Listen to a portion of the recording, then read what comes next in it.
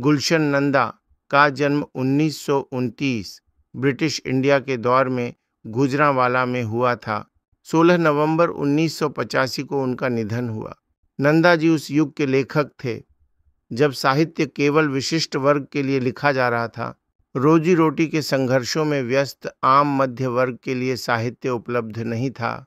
भारतीय या तो पौराणिक साहित्य तथा कुछ इक्का दुक्का पढ़े लिखे परिवारों में प्रेमचंद की कहानियों के संग्रह पढ़ते थे, वरना साहित्य का जुड़ाव किस्सा गोई से होता था।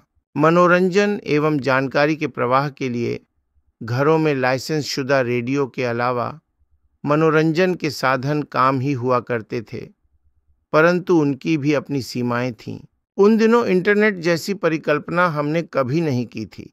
गुलशन नंदा ने पहला उपन्यास तब लिखा गया उनकी छुपी हुई प्रतिभा को पहचाना और उन्हें उपन्यास लिखने के लिए प्रोत्साहित किया।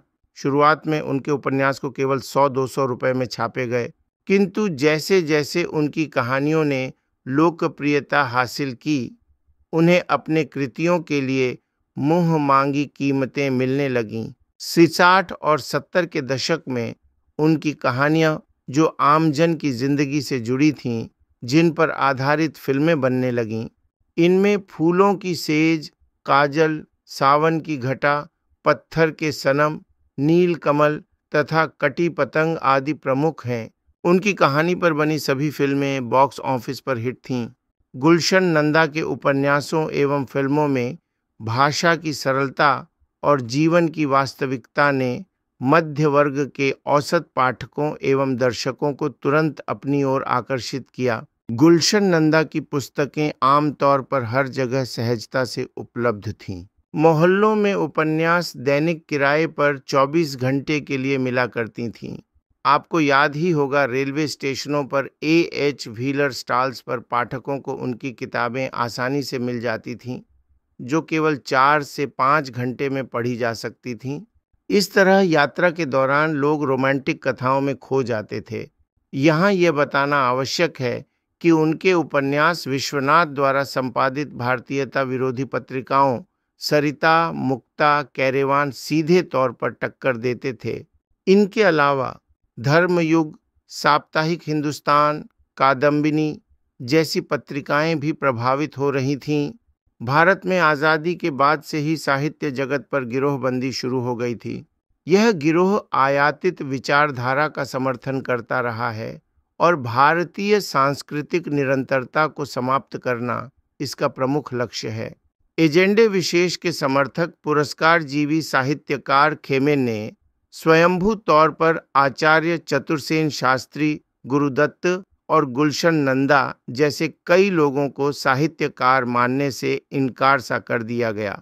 भले ही गुलशन नंदा को साहित्य की मुख्य धारा ने अस्वीकार किया, लेकिन उनका प्रभाव आज भी जीवित है।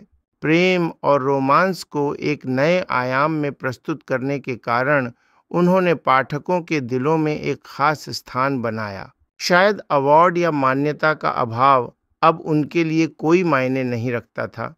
लेकिन उन्होंने जो लिखा, वह पाठकों के मन में हमेशा जीवित रहेगा। फ़िल्म कटी पतंग दर्शकों, विशेष रूप से महिला दर्शकों को आकर्षित कर रही थी। ऐसा नहीं है कि पुरुष दर्शक भी फ़िल्म देखकर अपने आँसू न रोक पाते थे। सत्तर और अस्सी के दशक में उपन्यास पढ़ाना इसलिए अघोषित रूप से प्रतिबंध था, क्योंकि उसे द्वार में उपन्यास केवल रोमांस, प्रेम, षड्यंत्र, जासूसी जैसे कथानकों पर रचे जाते थे।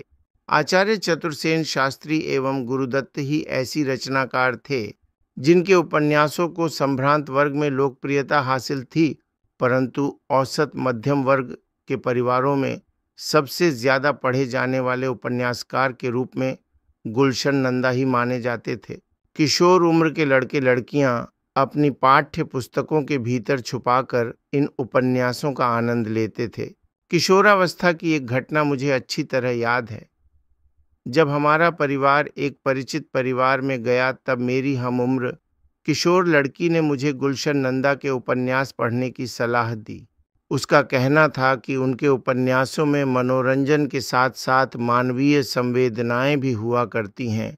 मैं चाह कर भी गुलशन नंदा के उपन्यास पढ़ने सका, क्योंकि हमारे घर में इस बात का विशेष ध्यान रखा जाता था कि हम किस तरह के साहित्य का अध्ययन कर रहे हैं।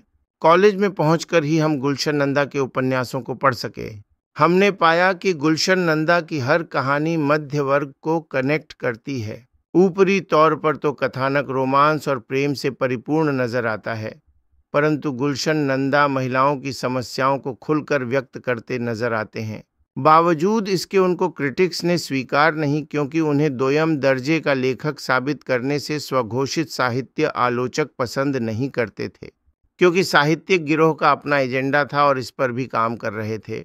मित्रों, आपको मेरी बातें कैसी लगी कृपया बताएँ। आप इस चैनल को सब्सक्राइब, लाइक और शेयर अवश्य कीजिए।